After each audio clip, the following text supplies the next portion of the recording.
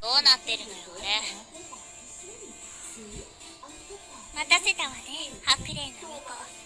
幻想郷をかけて決戦といきましょう。今からやっつけてやる。うーん。なんだもう終わりか。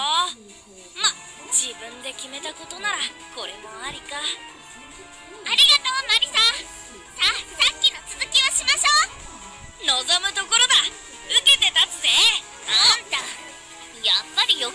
ことしかしないわね。大丈夫だって。私とレイムが組めば敵なしだぜ。ちゃんと合わせなさいよ。改めてご挨拶するわ。私はコーマ館の主にして誇り高き吸血鬼レミリア・スカーレット。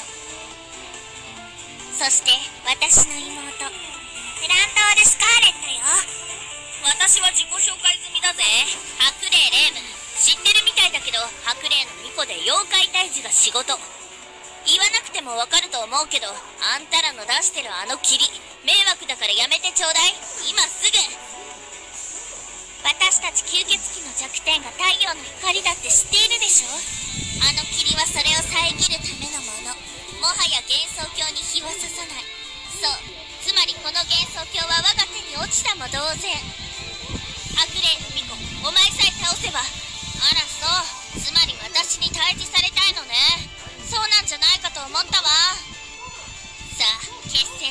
といきましょう白蓮の巫女勝者が手にするのはこの幻想郷全て。そんな面倒なものいらないわよ。あんたらが迷惑だから退治する。それだけ